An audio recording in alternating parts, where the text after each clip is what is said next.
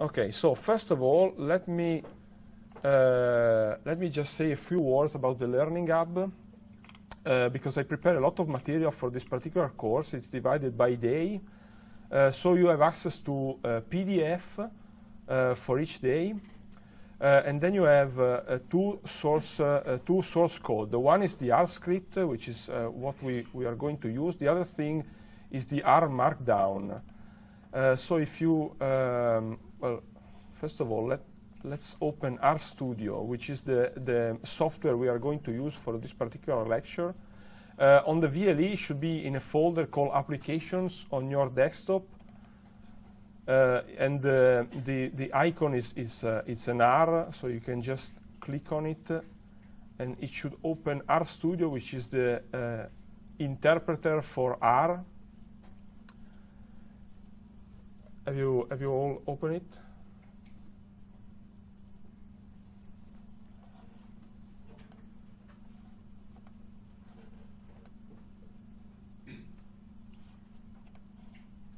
Uh, so basically, RStudio, as I said, it's, it's an interpreted software, and uh, basically it has a series of, of tabs. Uh, we will look into what each of these tabs uh, does later on.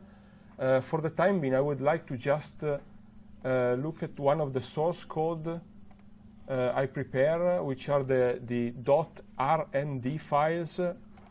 You actually need to open them, but basically this is um, this is a software uh, called R Markdown, which is basically a, uh, a mix between R and LaTeX. LaTeX is it's a programming language for, for, for writing documents.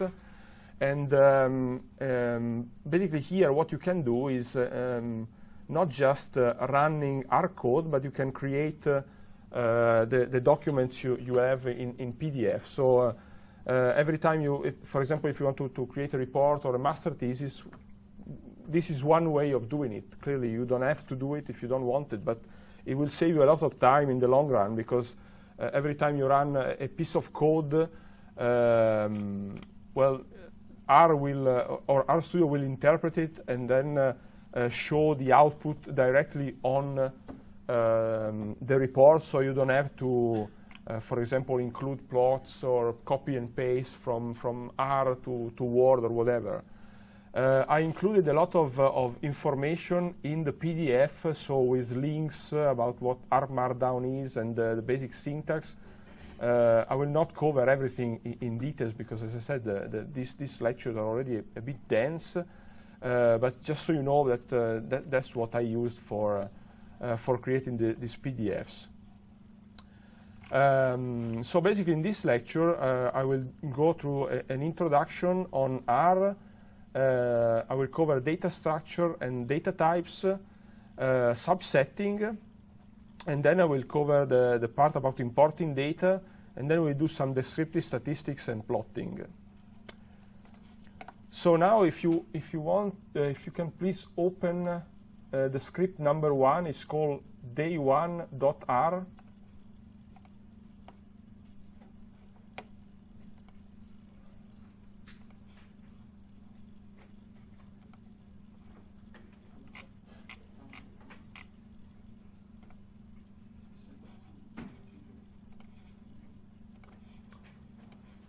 so basically, this is the, uh, the sorts of the sort of translation of what we saw before in uh, in the R Markdown. So again, you have all the text, but you also have uh, the R code, which can be uh, can be evaluated as a normal R script. So the first uh, piece of code you see in in the script is is this one. So uh, this is basically what is called an assignment call. Uh, so basically in this call, what we are doing is we are applying a function. The function is called rnorm. Uh, and this function um, is used to um, extract um, a, a, number of samples from a normal distribution. So in this case, we are, we are creating an object with 20, uh, 20 samples, so 20 numbers, that comes from a norm normal distribution with mean equal to 4 and standard deviation equal to 1. So if we just run part of this line, so just the function, we will obtain a series of numbers. This is called a vector. So basically, a vector is, is just uh, a certain data type, which is basically a, an array of, uh, of, it can be numbers, it can be strings, it can be whatever you want. If you, if you actually run the, the whole line, so if we, if we either selected the, the whole line, or if we just click on at the, at the very end and we click run, uh, then the, the assignment call will create an object name A. And the object will be stored in your global environment. So then you, you, you will see the object appear in your, in your environment. If you want to just print the, the values on the object A, you can just uh, type A and then run it. Uh, one thing you will notice is that the, the second set of numbers is different from the first. And this is because the, the function rnorm, every time you run it, will create a, a different set of numbers. Uh, this sort of functions are extremely useful for simulation. So if you want to run a simulation that basically extracts random numbers for a normal distribution, uh, this function is extremely helpful. We will use a number of simulation in this course uh, to demonstrate some of the statistical theory behind inferential statistics. So all this function will, will, uh, will be very useful in this course.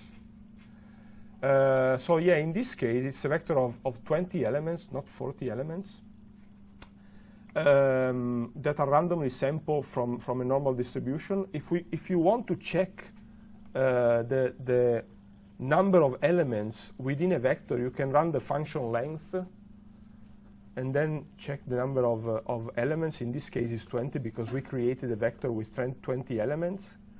Um, I mean, R is based all around functions. So, I mean, every time you want to run something, um, there are a series of functions that, that you, you need to know. And, uh, and this is probably the most challenging part about R because there's, uh, I mean, sometimes you just need to memorize functions. So if, uh, if you want to do a sum, there's a function named sum.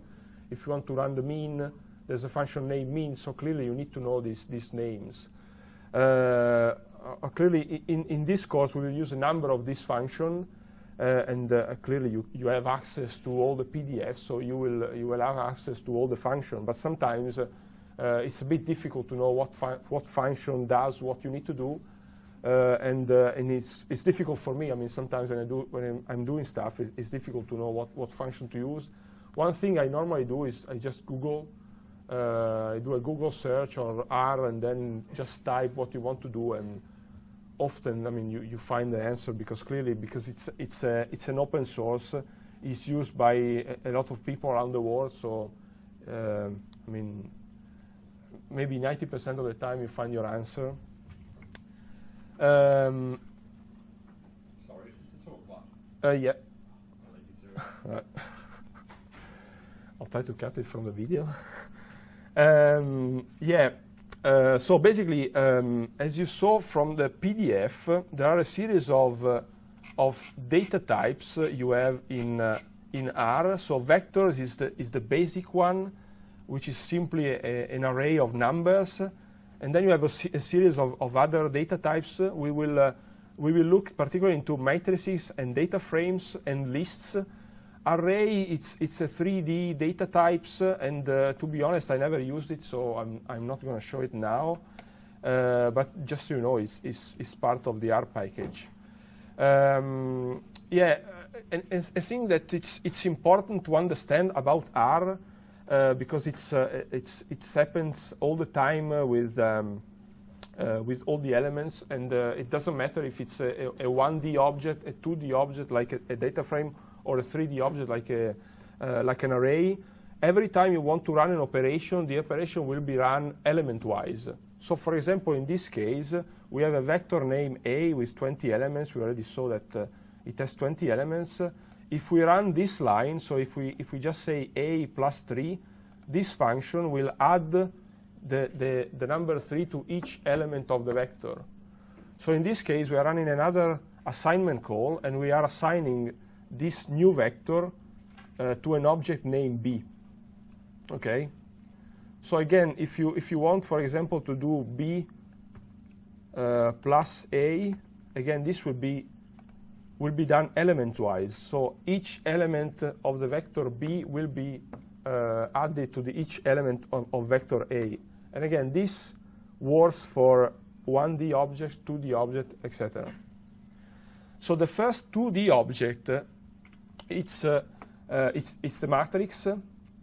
Um, again, matrix is, uh, is uh, the same thing that you get, you get from, for example, in, in an Excel sheet. So it's just a, a, series of rows and columns. Uh, so in this case, we are creating a matrix with uh, eight rows and, and five columns. And we are using a vector to actually fill this, uh, this matrix. And the, the vector is, uh, is called with this simple function. So in this case, it's just the vector from 1 to 40. So if we just run this part of the line, then you will get a series of numbers starting from 1 and, and finish at 40. So again, uh, we are creating an object, because this is an assignment call, we are creating an object named M, but clearly you can take a look at the matrix just by running part of the line. So in this case, it's just creating a matrix with 40 elements. And again, it's, it's 8 rows and 5 columns. Uh, and again, if you want to create the object, you just need to run the full line, and then you can print it. Before we just we just used uh, we we just um, write the, the, the name of the object and then run. Uh, another way of printing what's inside an object is just use the function print, um, which it does exactly the same thing. Um, yeah, for, for matrix, uh, it's particularly important to understand the order in which R fills the matrix. Because, for example, as you, as you can see in this first matrix, uh, from number 1 to number 8, it, uh, R basically filled the first column and then switched to the second column and then filled, filled the, the, the second, the third, etc. If we want to change that, we need to use a, a different option, so the option by row, so again, if we just run these other lines just partially, then you can see that uh, the order uh, in which the, the, the, numbers were input in the matrix changes. Uh, that's extremely important, for example, if you're, if you're running loops and you want to store your results in a matrix, because clearly uh, sometimes uh, you don't really need to check what you've created afterwards because maybe it's, it's, a, it's a large object, so you need to know exactly what R is doing in the background because otherwise it will create issue when, when, you, uh, when you do your, your, uh, your analysis, your, your follow-up analysis. Another extremely important function, particularly if, you, if you're starting now to, to learn R, is the help function. And the help function basically is, again, it, it is, it's the same thing as all the other functions, so you just uh, need to write the name of the function, open square brackets, and then put the name of any other function you want to you want to, um, to, to, know more about. So in this case, just run help function. And then uh, RStudio is particularly useful because in the um, lower right tab, you have a series of, uh, of subtabs, and one of, these subtabs is the help page. So the help page uh, will, will open in the same in the same main window. So you, then you can you can actually see what uh, uh, what you need to, to, to look for in this particular um, in this particular function. Another form of uh, 2D object is uh, a data frame. So the, the main difference between a data frame and, uh, and a matrix is that uh, a matrix, uh, I mean, first of all, a matrix is composed by elements of the same type. So if it's a numerical matrix, it's, it's all number. If it's a string matrix, it's all strings, etc. A data frame can be a mix of uh, uh, numerical, strings, uh, categorical variables, whatever. Uh, another important distinction between data frames and matrices is that the data frame is a, a 2D object with the column uh, have a particular name. So it's exactly the same as uh, an Excel sheet. So you can have first column name uh, number one or, or whatever, uh, and then you can recall on, on uh, different columns by name, which is extremely important.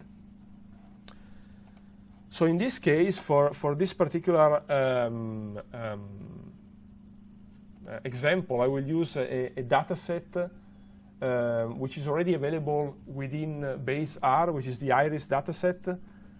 And so if we just run the function head, so the function head basically extracts the first, uh, uh, let's say, six, six lines. I think it depends on the object, but uh, yeah, in this case, it's the first six lines from the data frame.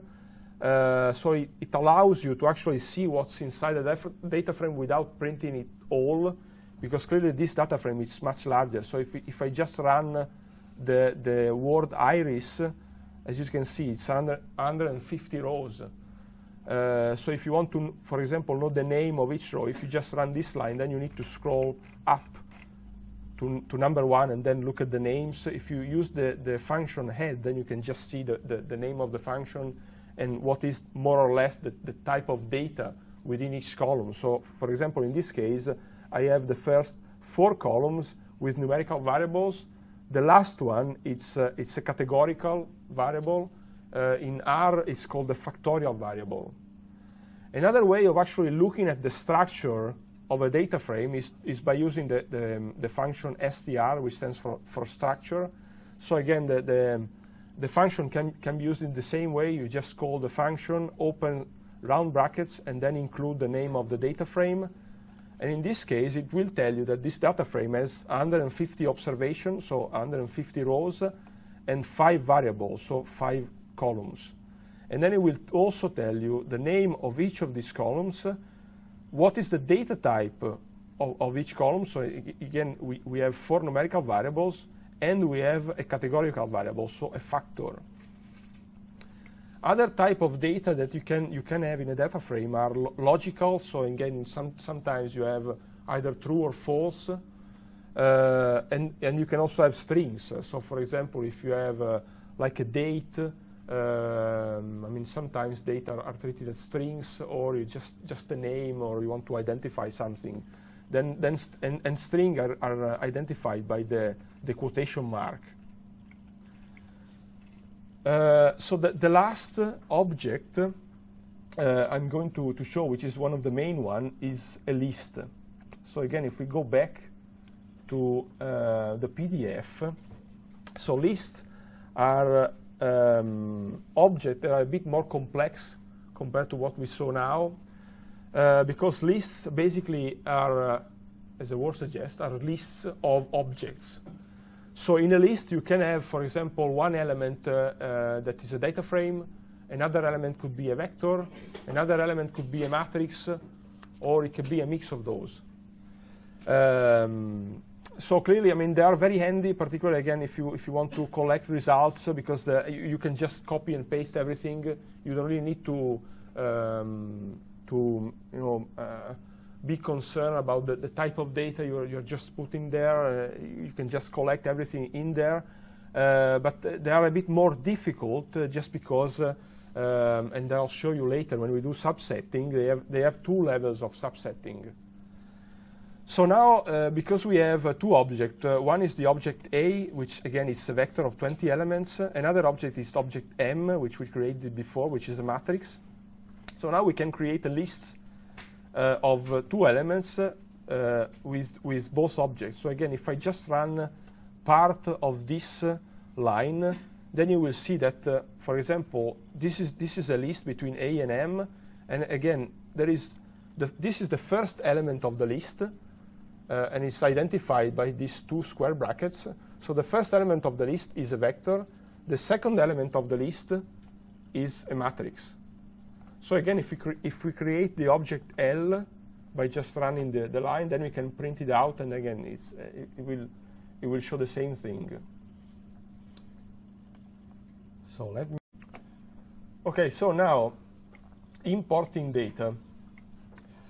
Uh, if you go back on the Learning Hub, um, you will see that I created a, an additional folder with uh, some data sets uh, so again, th these are all the data we, we will use. Uh, so we have uh, uh the, the, data oats.csv is one of the data sets it's included in your assignment. In particular, in this lecture, in the first three lectures, we will use, I think, the diet, no, the crime dataset, which is uh, this dataset here, so crime.csv. Uh, so we have several ways to, to import data in R. Uh, normally, what you do is uh, you download the dataset. So, for example, in this case, uh, I've downloaded it.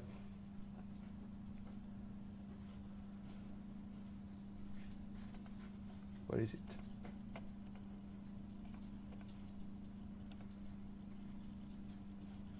Okay.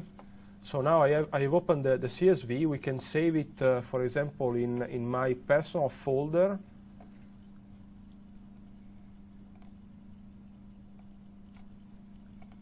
Okay. Let's get an additional folder. It's called R course.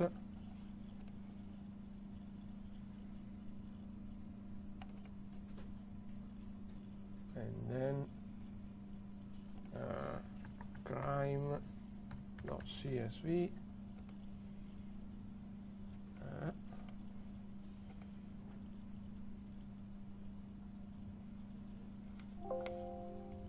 yes.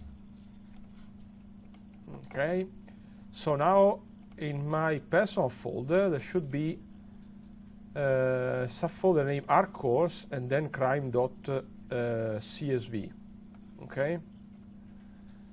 So uh, one one way there are, again there are several ways to open objects in in R. One way uh, that is is common is to actually use um, is, is, is by setting your working directory. Uh, and the way to do that is to use the function setwd, which stands for setting working directory. Uh, again, as you can see, this function takes a string with the link uh, to the folder where you store the, your data. So in this case, I can just delete this and then copy this link uh, directly from, from Windows. So just, just copy the, the, uh, the address where I store my data. So I can just copy, copy it here. The, the only thing you need to remember when you do that is to change the slash to a forward one, because otherwise it doesn't work and then you can you can run it, and then R has um, has now um, set the working directory. So, for example, if I just instead of using this line, because um, yeah, this line is directly from the website. If I just use the function read CSV without specifying any location of the file, just the name of the file. So in this case, uh, uh, the name would be uh, crime with a capital C dot CSV, because I've set the working directory, then R will know where to find this, this file. So if I just if I just use the name of the file, then yeah, it should it should work. So again, the, the data frame is stored in your environment, and you can see it up here. Uh, if you click on the arrow, then you can see the structure of your of your data frame. Again, you can use the function str to do the same uh, is exactly the same thing. You, you, can just you can just use it whatever you like. okay, so one uh, one thing I'm, I'm, noticing now is that in this new dataset, the the first um, variable is called crime rate. In the dataset I downloaded from uh, Sheffield, because this is a dataset that is distributed for free by Sheffield University. Uh, the, the, variable was the, um, was read uh, in, in, a different format with this sort of uh, um, yeah sort of, of, symbols at the beginning. Uh, this is actually good because uh, uh, all the lines I, have written afterward will not work, so will need to be changed. so I, I will show you how to actually do that. Um, so yeah, basically in this uh, uh, this data frame, it's it's it's a simple data frame with uh, a crime rate and a, and a series of uh, other variables uh, which which can be used as an explanatory variables uh, to explain the variance in, in crime rate. Um, you can have a look at the at the link provided in, in the PDF to have a, a full description of of the data set. Uh, yeah, clearly there are other ways to, to import data in R. Uh, I usually find that the, the, the, best way is from CSV because they don't really change much from computer to computer, so that's what, what I normally use. Even though, for example, in my computer at home, because it's in Italian, the CSV is separated by a semicolon, not, not a comma. Uh, so you, you, need to, you need to be a, a bit careful. Uh, but usually CSV is a standardized format, so I, I found it a, a, bit, a bit easier to actually import data in CSV. However, R can import data from uh, text files, uh, Excel sheet, uh, whatever. So, and there are a series of other functions to do that. Uh, and again, I included a couple of links uh, for you to look at with additional um, resources to actually import data from, from different formats. Um, so okay, now we can start with the uh, descriptive statistics. Um, yeah, again, one uh, a bit of, uh, of, um, of ex explanation about this part of the code. Uh, again, this, this is written in LaTeX, and this is the way LaTeX uh, um, creates uh, equations. So, for example, if you if you look at page, yeah, one of pa the pages in, in the in the PDF, you'll see that uh, uh, you will have a series of equations, and, and the, the way uh, LaTeX create this equation is by using these dollar signs. Uh, so clearly, it doesn't really good, look good in, in the code, but actually it, is uh, it's quite handy when you want to create some um, uh, some some reports.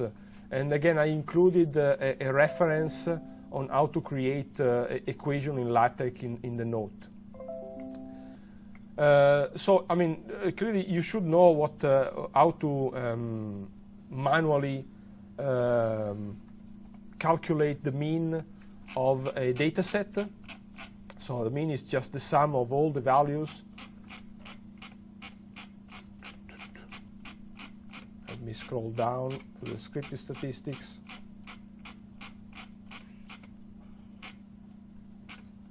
Okay.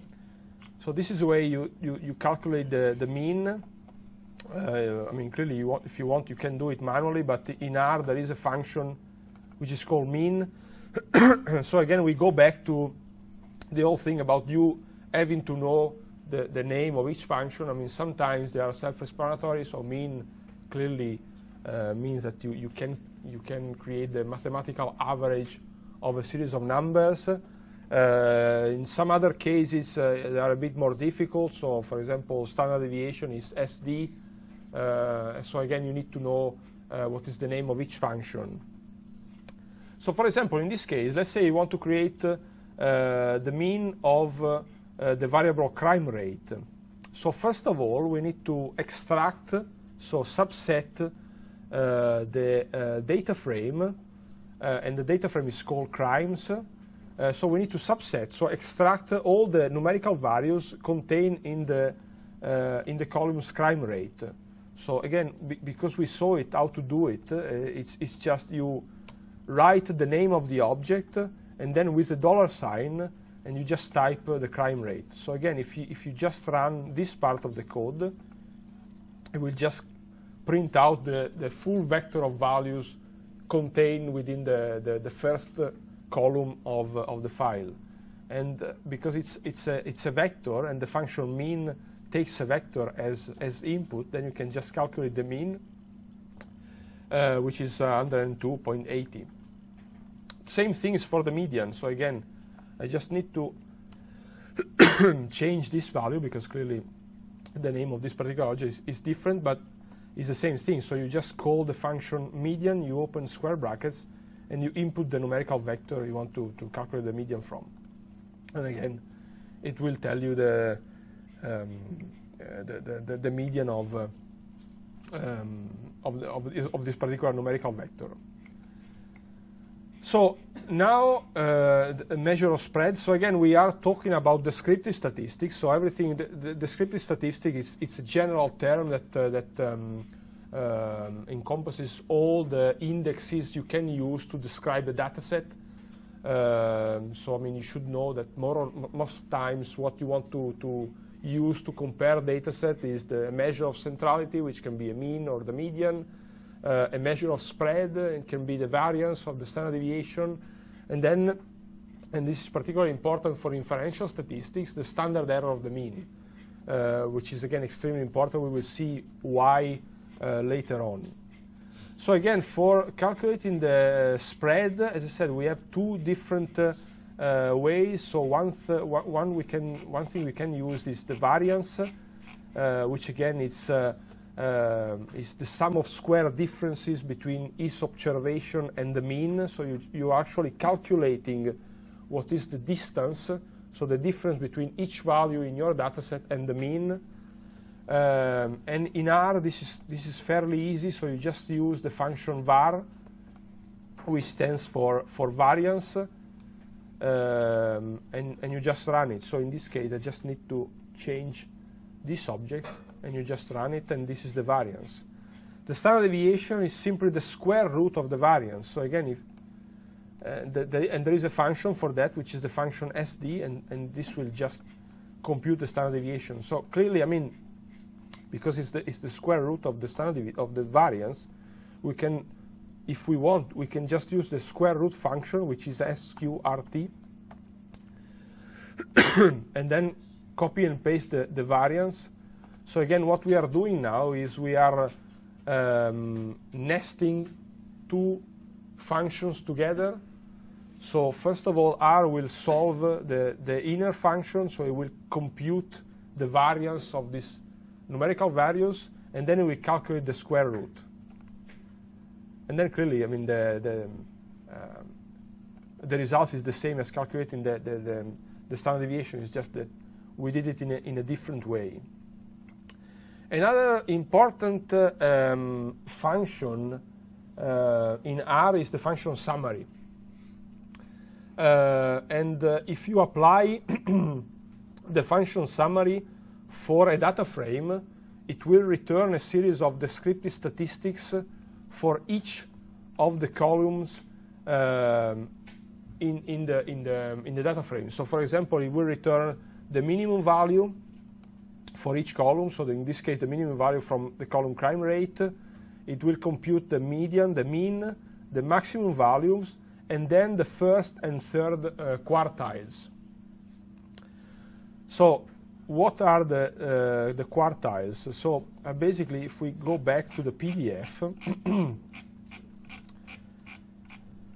we talk about uh, quantiles uh, when we describe a distribution, and, and, quantiles are simply cut points that define uh, probability values in a distribution. So for example, in this case, we have uh, the 78th percentile, and the, one thing that needs to be clear is that quantile is a general term.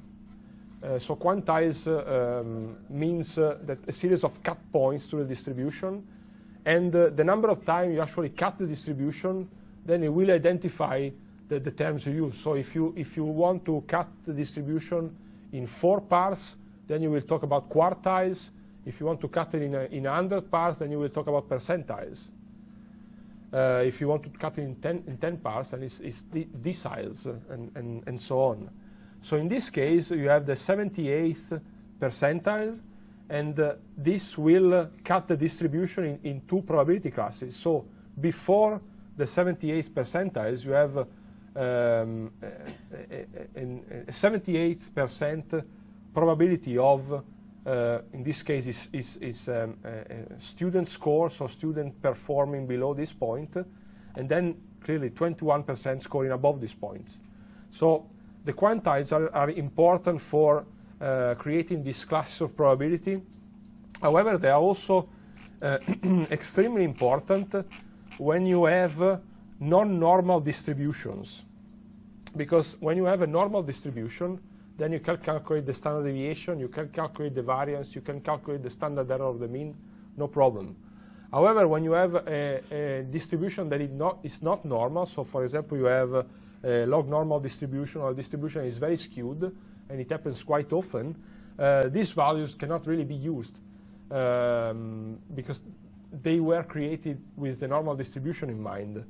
Uh, so the way you, for example, you will, uh, um, will report um, a measure of spread for non-normal distribution is by using the interquartile range. So calculated the distance between the first and the third quartile.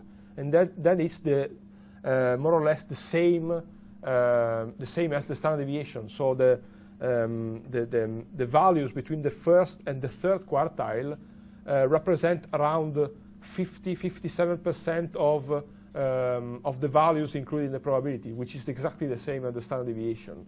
But it's a way that you, you, you can represent spread also when you have non-normal distribution. And in R, calculating the, the interquartile range is quite easy. Again, we, we have a function, it's called IQR.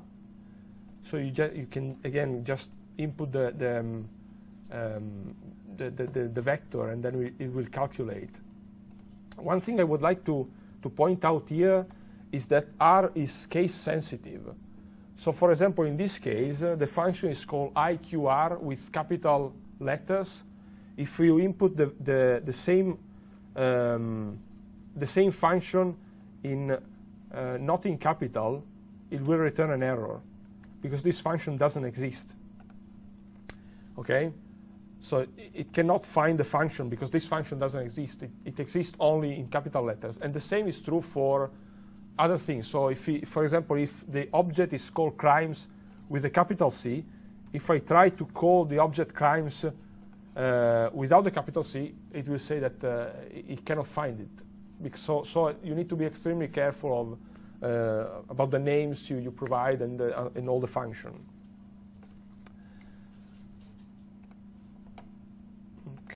Okay, so uh, the next phase is subsetting.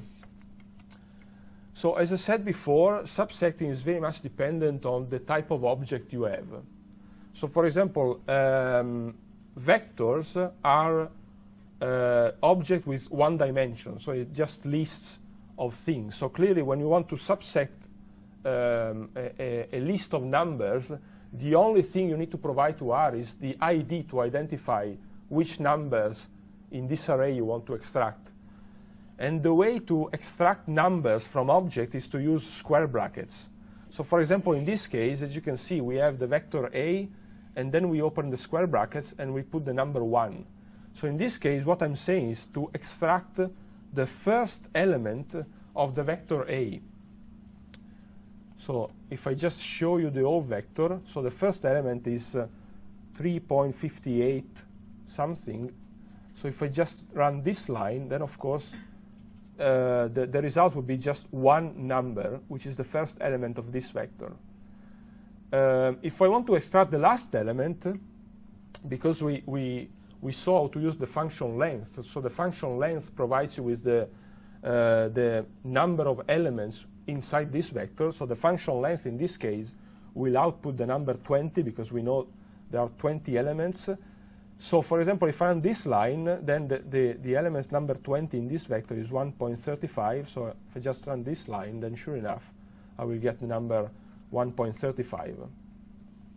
So this is the, the, the, um, the subsetting you can do with 1D elements.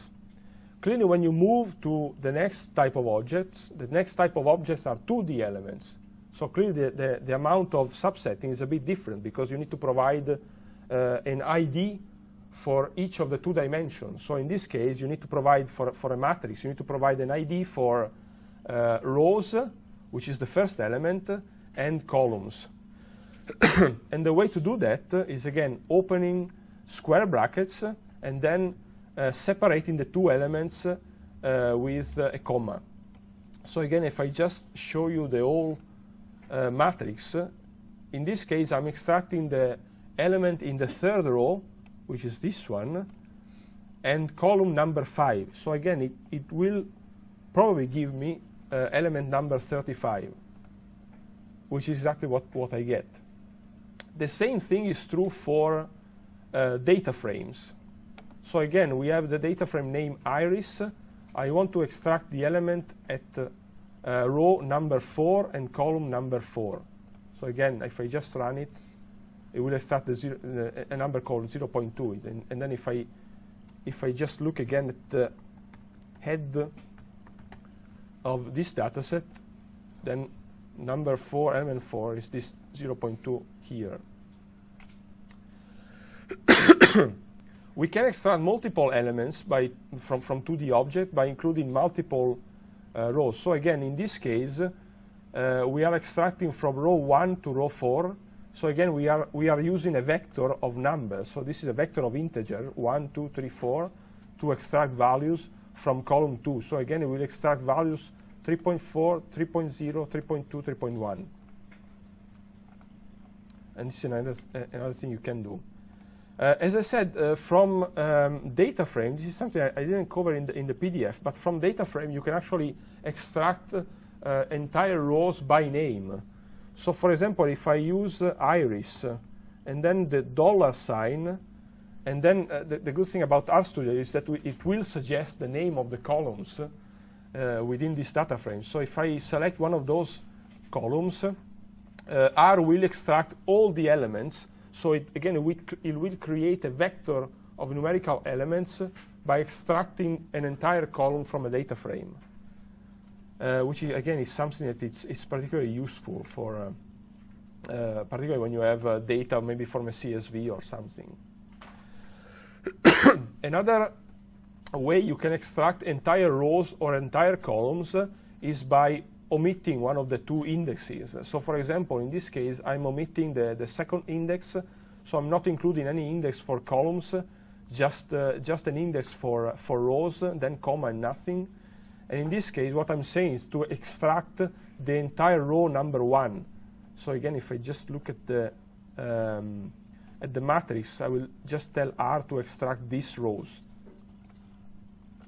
And again, it will create uh, a numerical vector the same thing can be done for for uh, columns. So in this case, I'm just saying to R to extract only the column number 3, so just, just this value here. Okay. Oh, yeah. And that's the, um, the way you to do uh, extraction by name in, in data frames. So as I said uh, before, lists are uh, complex objects because clearly the fact that you have different type of objects uh, including a list creates uh, oh, let me uh, so yeah the fact that you have uh, multiple object of different types within a list uh, uh, makes it a bit difficult and, um, and basically to subset a list you need to provide two levels of extraction and the first level of extraction, uh, because we, we actually saw when we printed out the object, uh, then the two, uh, the two elements in the list were identified by two square brackets and, and an ID. So actually the way to extract, for example, the first element within a list is to actually use the, the two square brackets, so the same way, and then you say you, you uh, type the two square brackets and you just provide the elements. So in this case, if I want to extract the first element, I just provide the number one, otherwise it's, it's the number two because it's, it's just two elements. Uh, a way to uh, actually know the number of elements in, uh, so the number of objects nested in a list is to actually use the function length. And again, this will, will tell you exactly how many, how many objects you have in, in the list. So now, for example, in this case, um, the, the, first call, as you, as you saw, uh, it extracts the whole vector we, we actually inputted. So now, we, if, let's say we want to extract a particular element from this object in, in, uh, in place one of this, of this list. So what we can do is include an additional level of extraction. So after we say which element of the list we want to extract, then we say which element in the first object of the list we want to extract. So in this case, it will be, again, elements 1, so number 1 in, in the vector. So again, it will return the same number, 3.58. And again, the same is true for, for the data frame. And now we, are, we are extracting the second object. So in this, yeah, in this case, it's a matrix. The data frame will be the same. So in this case, we are extracting the same um, the, the, second element in the list.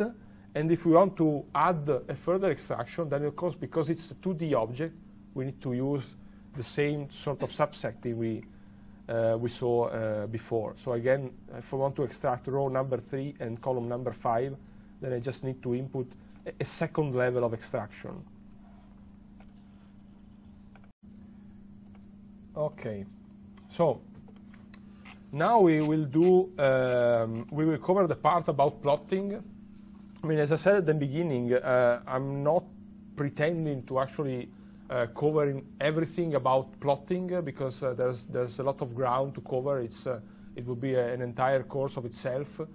Uh, but uh, I, I, I thought that uh, it is important for you to learn the basics of plotting because clearly when you do data analysis, um, descriptive statistics and plotting can really help you understand what's going on in, in, your data set.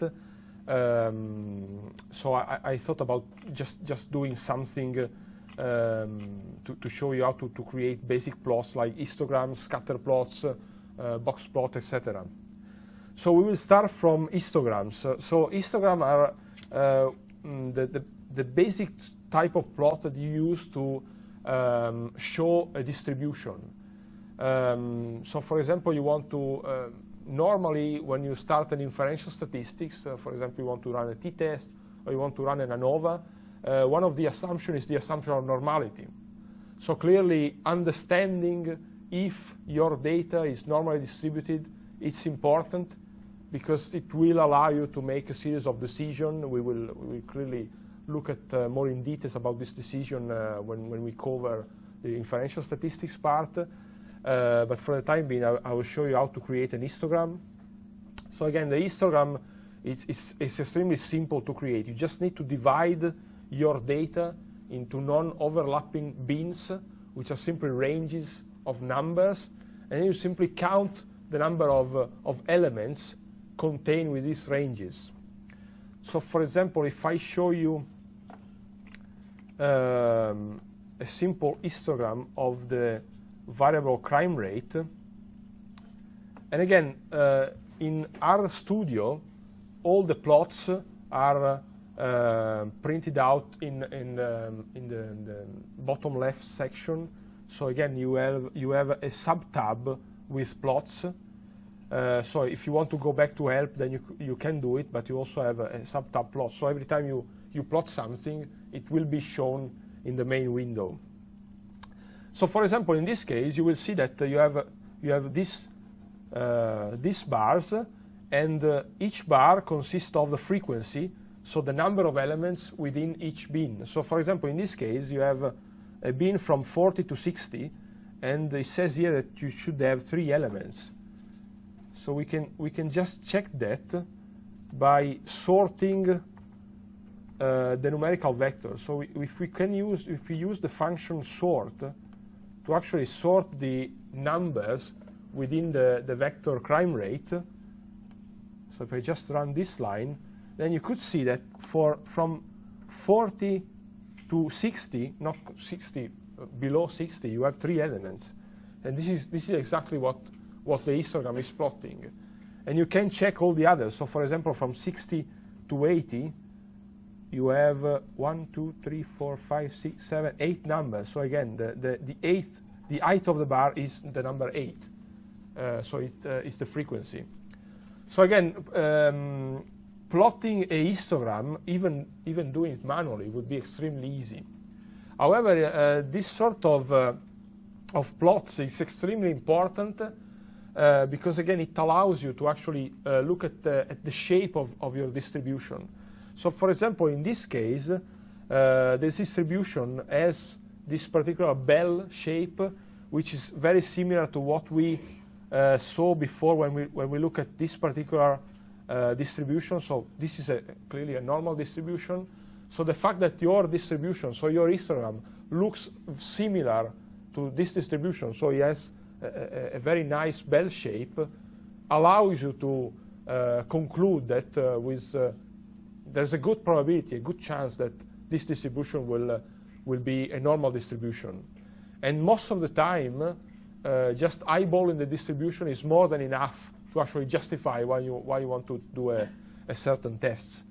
We will, we will look at the more, let's say, robust way of, uh, uh, of, uh, of, assessing normality when we do the inferential statistics, but this is the, a, a, very nice way of doing it. So one thing you can notice about this particular plot uh, is that, uh, I mean, the title is not particularly informative, because it's just say histogram of, and then you have a, a sort of piece of code with the name of your of your data frame and the dollar sign. As the and the same is true for the, the label on the, on the x-axis. Um, so one thing I wanted to, to show you now is how to modify these two elements.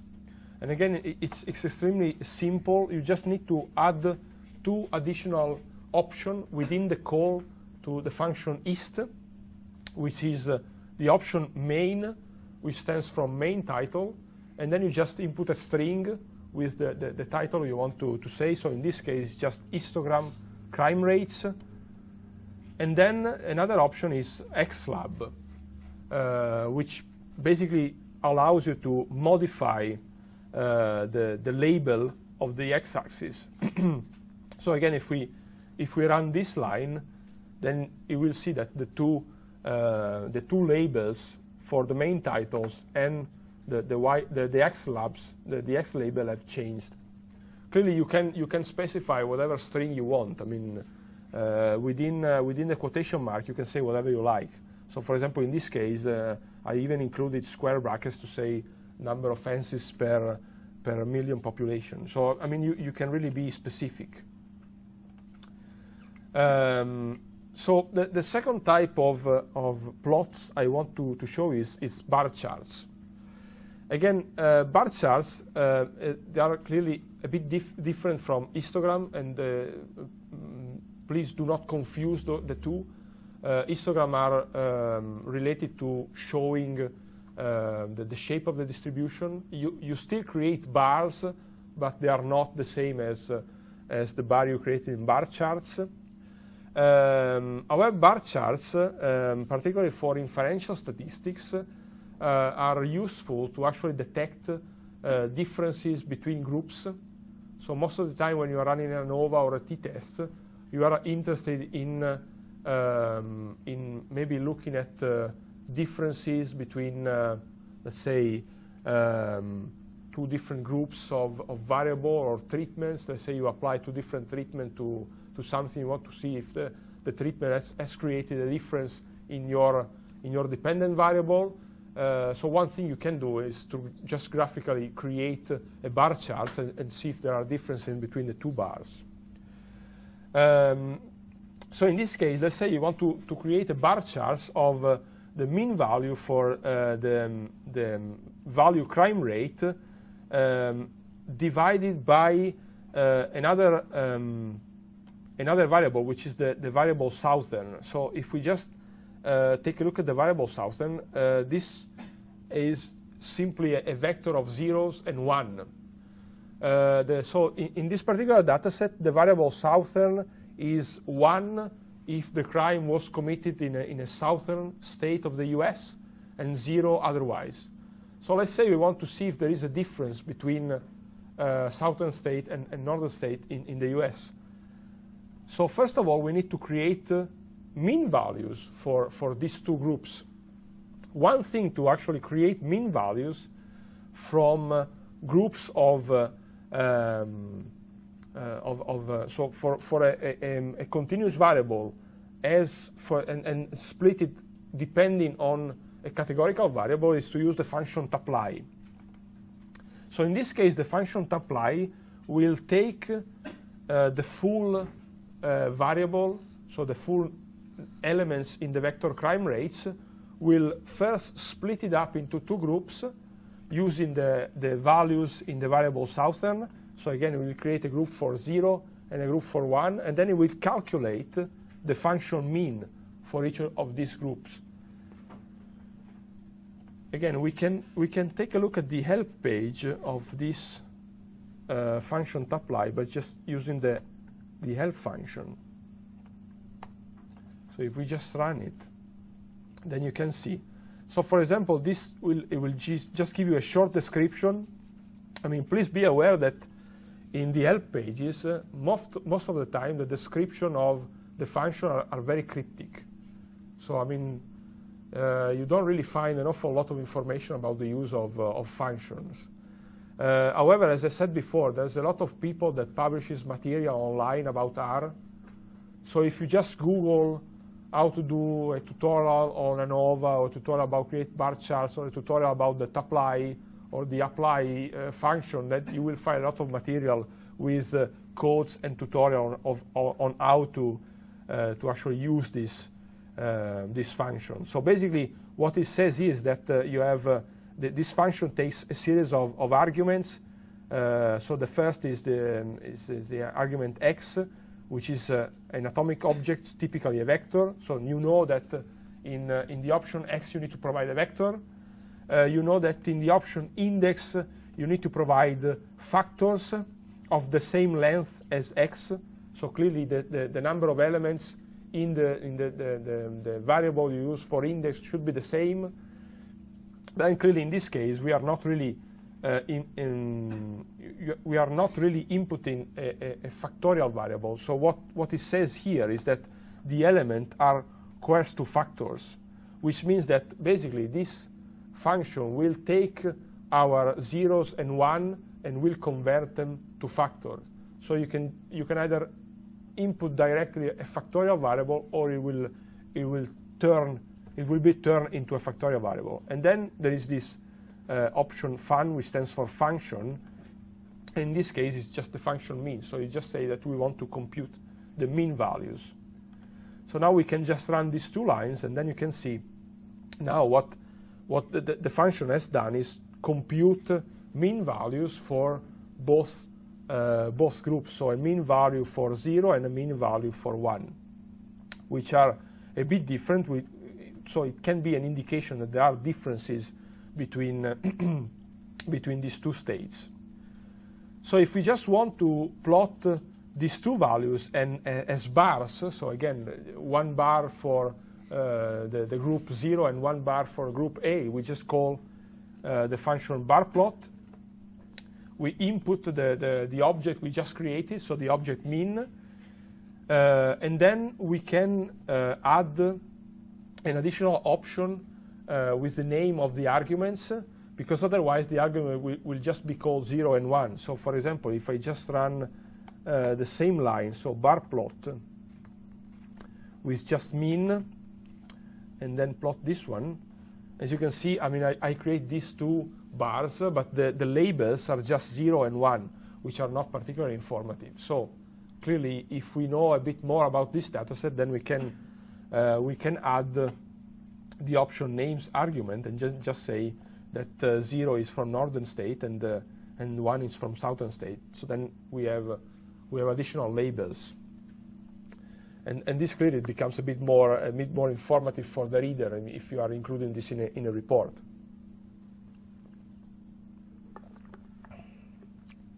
So clearly, it seems that there are a bit more crimes in this northern state uh, however, um, clearly, I mean, if you really want to, to, know, to know if there is a, a statistically significant difference between these, these, these, two groups, then you will need to uh, use a, a, formal test. However, there is another way, uh, uh let's say a more informal way to actually looking at differences uh, between, between groups, uh, which is including in the bar charts the, an error bar. So in this case, in, we are not including the error bar based on, on the standard deviation. We are including the error bar based on the standard error of the mean. So again, if we, if we scroll down, uh, the standard error of the mean um, is, is simple to, uh, to compute. It's just the, a ratio between the standard deviation and the square root of uh, the number of, uh, of elements in your, uh, in, your, uh, in your sample. However, the, the problem is that there is no function in base R to compute the standard error. So we need to actually write a custom function to compute, to compute it. So we can, I mean, writing custom function is, is, uh, is not that complex in R. We can just uh, use the, the, the, another function is called, just simply called function. Uh, and in this case, we can say within uh, round brackets what the function will take as an input. So in this case, it will take uh, an input x. And uh, in this case, we know that the input x is a vector. simply because clearly, I mean, we are creating the function, so we know what, uh, what we want to include in this function.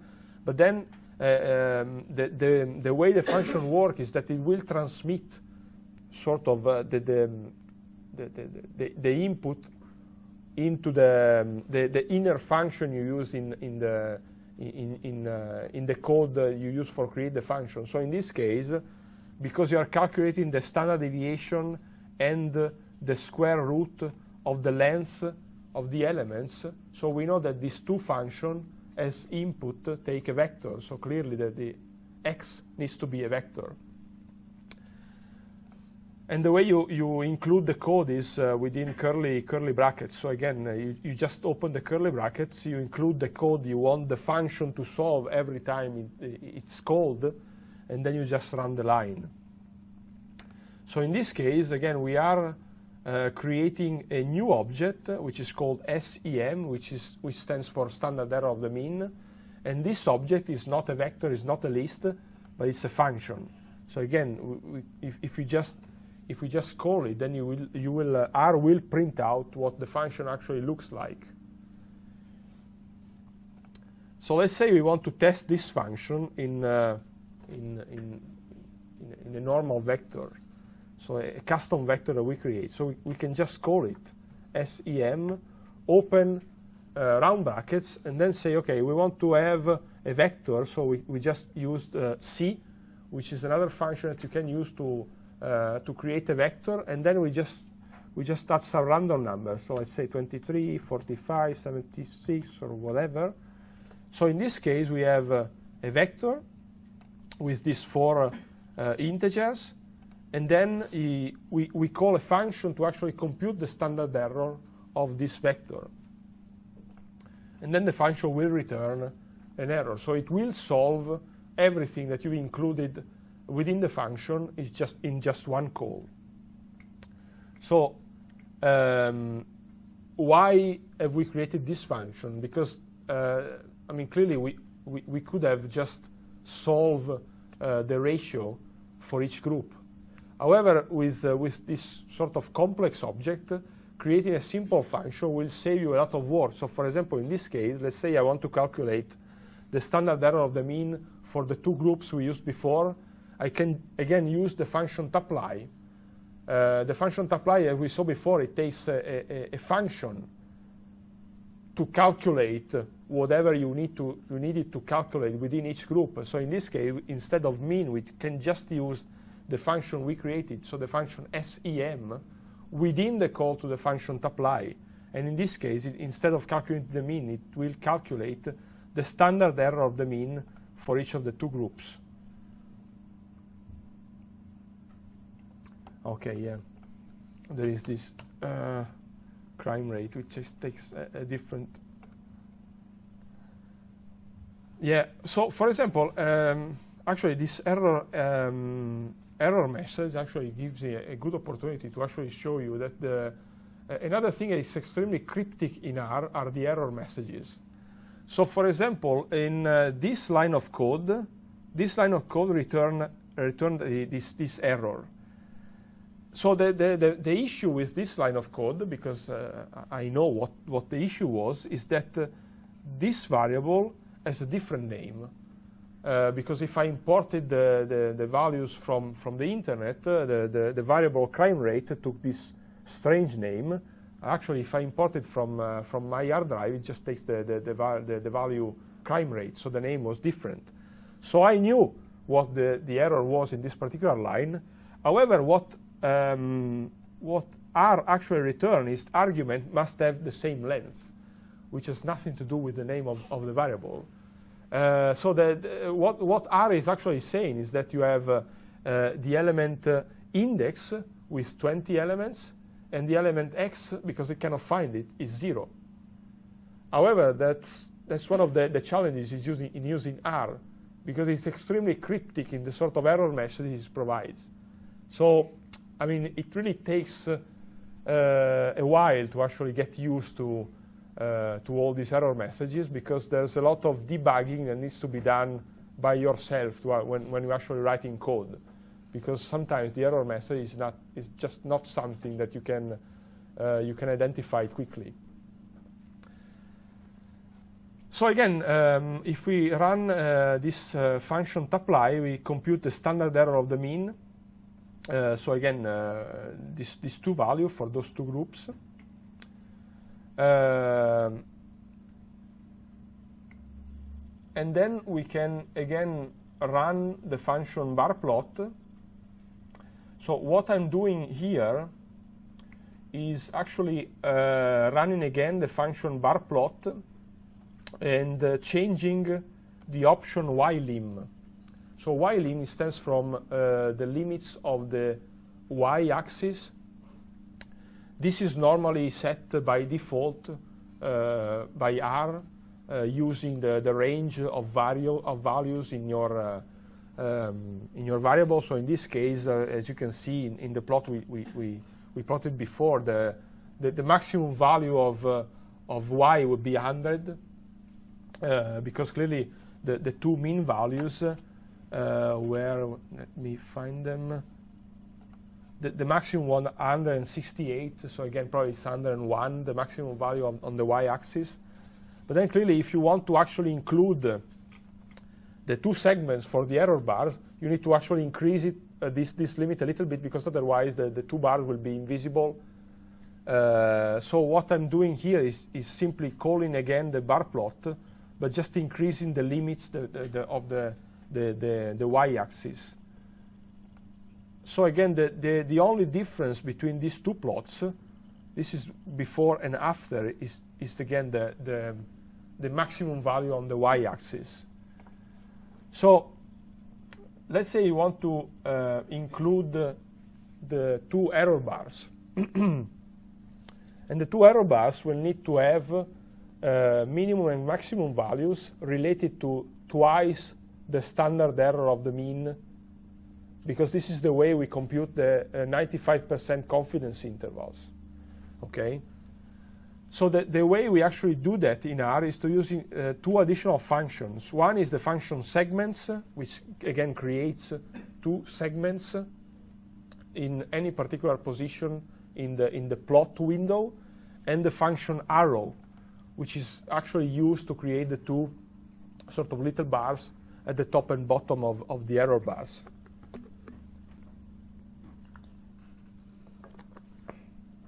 So, as I said, these, these bars can be created anywhere on the plot window. So the, the plot window is intended as, as this space. So clearly, you will need to know exactly what are the coordinates of the middle point of this bar and the middle point of this bar. However, you can do it, uh, and, and, and, clearly you need to tell R where exactly to plot. So you need to tell him a, a value for x0, so a value for the, the, um, the x when to start the segment, a value for x1, so again the x where to finish the segment, because it clearly it can be uh, an horizontal, a vertical, or oblique segment. So you have uh, um, um, an option for x0 and an option for x1.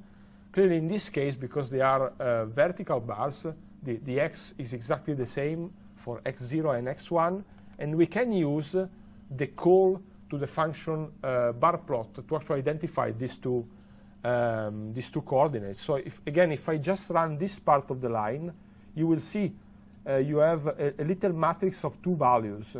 These two values are actually the, the x coordinates of the middle point of the two bars in the plotting space. So this, this is the x value in the plotting space of these two bars. And then for the, uh, the y value, then clearly this changes and, and it depends on the mean and the standard error. So clearly x0 in, is mean minus uh, 2 times the standard error of the mean and uh, y1 uh, is mean plus twice the standard error of the mean. Because again, we need to, to input this, uh, this range to actually have the 95% confidence interval. Uh, the last option I'm including is LWD, which stands from line width. Uh, so basically here I can just say I want to have a line of uh, 1.5 point, 2 points, whatever you like. It's up to you. And then the arrows, I just include in a bit more Uh, so in, in, in actually after line width, then I have the angle. So again, the angle of, of this particular segment. the code usually tells R that you need, it, needs to create uh, horizontal uh, dash lines instead of arrows or whatever. And then the length, uh, which again, it's, it's, it depends on the plot, but more or less 0.05 should be fine for this particular, um, for this particular plot. So if we just run these three lines, then you will see that, that R adds two error bars to, um, to the bar charts. So as I said, this, uh, and again, I included a link uh, to R-Blogger. R-Blogger is, uh, is um, a, a, platform online where all people that uh, create tutorials for R uh, share their code. So again, if you are, uh, if you are struggling with something, and I mean, R-Blogger will probably give you a, a lot of answers. Uh, but I included a, a, tutorial in which they, they, they, discuss about how to build um, uh, this, this, sort of error bars if you want to learn a bit more. So why is this, uh, error bars important? Well, uh, they are important because, as I said, they create the 95% confidence interval. And the 95% confidence intervals um, allows us to know what is uh, with 95% confidence what is the range of values in which the true value of the mean lies. Uh, so for example, let's say that we, we, we went out and we sampled, uh, know, five different uh, plots. Okay, we calculate a mean value, and, and we have uh, a mean value of maybe 3.5 or whatever. I mean, clearly, because we just have five, five points, our 95% confidence interval will be large because the, the, um, the amount of sample is low. So clearly the, the, the true value of that particular population uh, will be included in, in this, 95% confidence interval. Uh, and, um, and again, knowing where exactly this true value of the mean lies uh, will really help us when, we, when we do inferential statistics to understand if two groups could be statistically different or, not, or not. So for example, in this case, the fact that the two error bars overlap, so they, they share uh, the same values, uh, may, um, may help us conclude that probably these two groups are not statistically different because their mean value could be exactly the same. Uh, the, the, it could be that the, the two value we calculate is just because we, we don't have enough sample to calculate a robust mean. And, and so the, the, the fact that we plot, uh, it, will, uh, it, it, gives us uh, a, good, uh, um, a good overview of what results from a formal test will look like and also will help us a lot formulate the hypothesis we will need to uh, we will need to use actually the formal test because everything we will do in inferential statistics is called hypothesis testing. So clearly, first of all, we need to formulate our hypothesis, and then we can uh, we can start um, we can start doing the, the, the, testing. So this is one one way of actually um, checking whether two groups could be different, could be different, and then because this is based on the standard error of the mean, uh, it's only valid for normal distribution, as I, as I said before. For uh, distribution that do not really uh, follow a normal distribution, I will show you later how to do the, exactly the same thing with, uh, with box plots. So another, uh, before we go to box plots, uh, quickly we can, we can go through scatter plots. So scatter plots are um, what we call the multivariate plots. Uh, because basically, if I just show you what is the, the, um, the output of, the, of, this function, so basically, uh, scatter plots are a series of, of dots and uh, dots that takes two coordinates and the two coordinates are related to values of two different variables. So in this case, uh, what I'm, I'm, plotting, I'm plotting the, the median weekly wage as compared to the crime rate. So each of this dot will take a variable related to the median weekly wage and a value related to uh, the crime rate. uh, the, th this sort of plot are, are extremely useful uh, to have an idea of the correlation between variables. So for example, in this case, what we can see is that, again, generally speaking, when the median weekly wage increases, the crime rate also increases. Uh, because clearly um, we have uh, points lower with low median weekly wage and low crime rate around here, and then we, we get the general increase. So this will suggest that there is a, a, what we call a positive correlation between these two variables.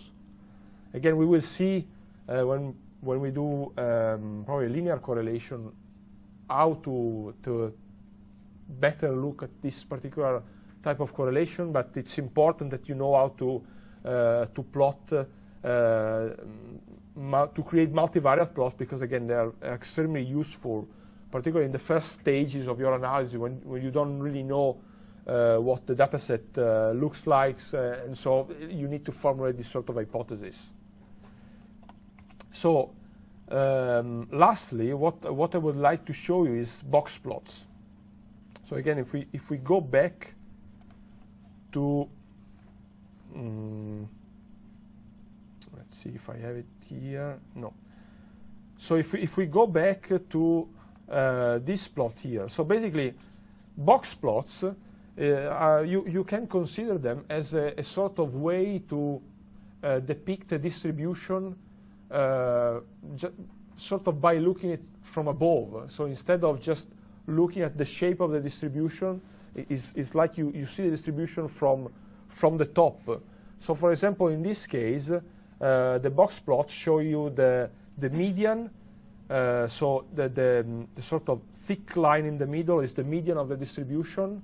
And then you have the actual box, which is the interquartile range. And then you have the two whiskers, uh, which are placed at uh, 1.5 uh, times the interquartile range. So it, they give you a good overview of what is um, the sort of maximum uh, spread around your mean that you, you consider meaningful. Because um, as for the normal distribution, the whisker give you more or less uh, what is the range of values uh, that have sort of 95% probability of um, of, of, being, uh, of being part of the distribution. Everything that is uh, uh, below or above those two whiskers is, are extreme values, and sometimes you can consider them as outliers. Uh, and this is something that uh, the, the, the, box plot can also tell you. So again, for, for in R, it's extremely um, simple to actually plot, um, create this box plot. There is just the function box plot. and it can be used the same exact way we used all the other functions. So you just call the function, you open your, uh, your round brackets, and you just input the, um, um, in this case, a vector of numbers. So again, we, we want to change the main title, we want to change the, the label of the x-axis, axis, so we just run this line, and it will show the, this box plot. So again, this, this plot tells me that this thick line is the median of, our, of my distribution. This is the interquartile range. And then this is the, the value 1.5 times uh, away from the, the interquartile range, away from the, the two quartiles.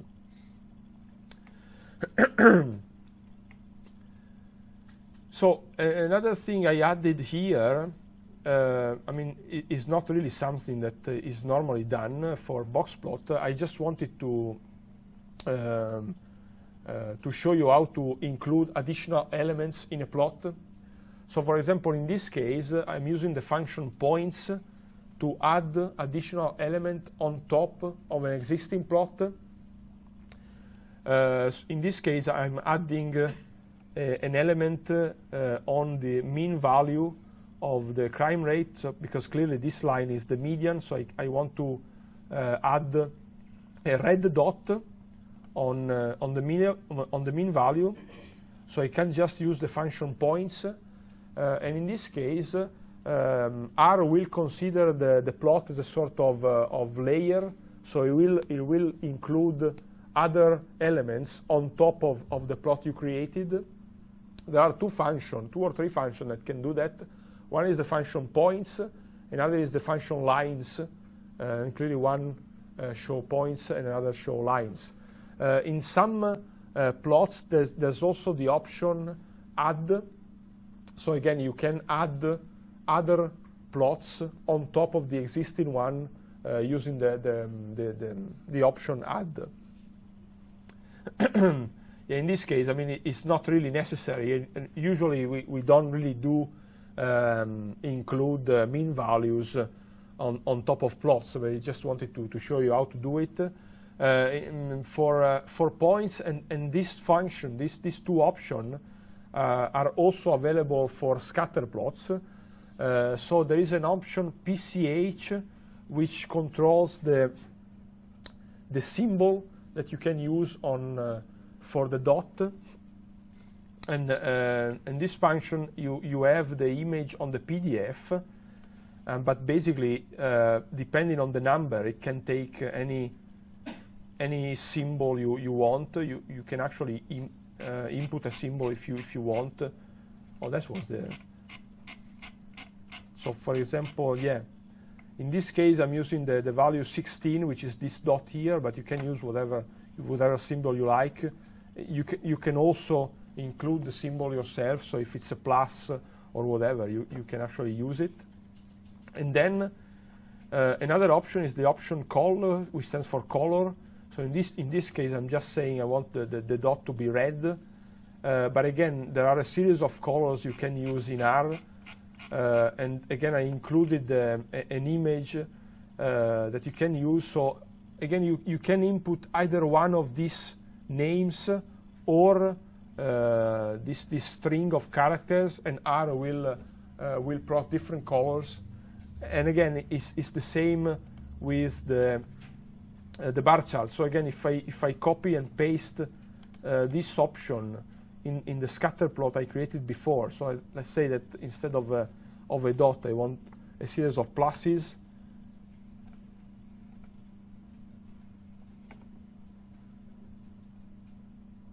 Oh yeah, sorry.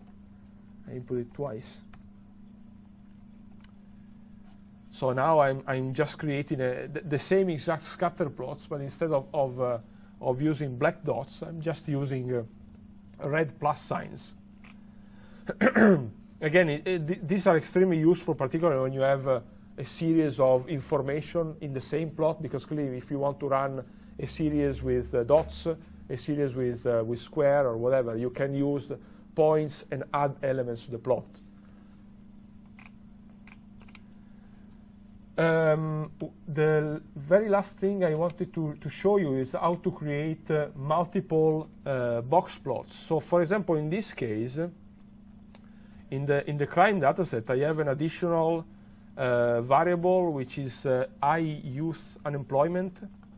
And again, this variable takes either 1 or 0 for I use unemployment or low youth unemployment. So let's say I want to compare these two groups, okay? Clearly, I, I, because I know that, uh, that the variable crime rate is normally distributed, I could do a bar chart. However, if you are not sure or you know for a fact that the, the, the variable you want to look at is not normally distributed, uh, the, the, best way of actually comparing group is to use uh, box plots. So what you can do to actually create uh, one single box plot for each element of uh, the variable uh, youth unemployment is to actually use a sort of formula. So you use what is called the, the tilde sign, which is the, this, this, wiggly sign here, uh, and then you create a formula. So you, you, you, you are basically saying that you want to have a box plot as a function of this other variable, which is youth unemployment. So in this, this um, function will create, instead of one, will create two box plots, which will allow you to actually um, comparing those two distributions, so comparing the median value, comparing the, the interquartile range, etc. So clearly, if, you, if you just look at these two, uh, what you can conclude is that uh, the, the, value of, uh, uh of uh, i youth unemployment is much lower compared to, uh, to the, the, the, other one. So how can you do uh, the same thing we did uh, for the, the bar chart. So how can you use the standard error? Um, because again, we are assuming that we are not dealing with a non-normal distribution. So one thing we can do is to add the notches. So the notches uh, are simply based on uh, the standard error of the median. So in this case, uh, is very similar to the standard error of the mean, but it's based on the interquartile range. So the standard error of the median is based on the, the ratio between the interquartile range and the square root of the number of, uh, of values in your data set. so again, it can be used the same way. And, and, the nice thing about R is that if, if you just include the, the, the option notch true, it will, uh, it will solve the equation. It will create notches based on the, the standard error of the median.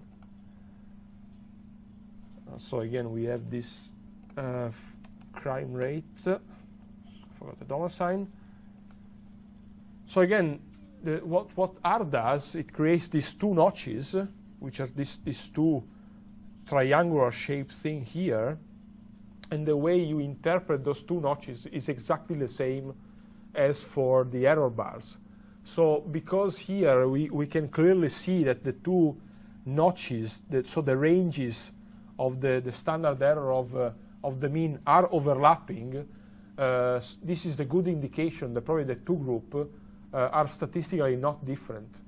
Okay, so again, it may be because uh, we don't have enough uh, enough samples. It may be that uh, they are not different, whatever. But this is clearly a good indication that you can use in your report to actually uh, formulate your hypothesis uh, and start explaining what what you're seeing in in your data. Okay, so this was the the, the, the final um, the final function I wanted to show you for for today so uh, one thing I, I included here in the, in the report um, is uh, a series of references, particularly um, my OneDrive, and we, we, can actually open it now. So basically, uh, on my OneDrive, I need to sign it up. Um, as, as part of Harper Adams, you all have access to OneDrive, which is a cloud-based service uh, as part of the Office uh, 365 subscription. Um, and um, and if you if you follow this link, uh, it will take you to one of my folder on, on my OneDrive. In this folder, I created a series of subfolder with books about statistics, about uh, time series analysis, about um, ANOVA or whatever. And uh, I also included uh, two uh, video tutorials I created for Packt Publishing. Uh, I cannot really share them directly with you because uh, the, the, copyright is with Packt, uh, but I can share them with individual students. So the, the first video tutorial, which, is, which should be around three or four hours, it's all about data visualization. Uh, so uh, as I said, the, the, the, the sort of plots uh, I use now, they are very basics. but in R, there are other packages that allow you to, to do more, much more complicated stuff. So one of those two video tutorials is all based on data visualization. Uh, so again, if you are, you are free to actually take it whenever you like, you can just download the whole thing. It's not a problem.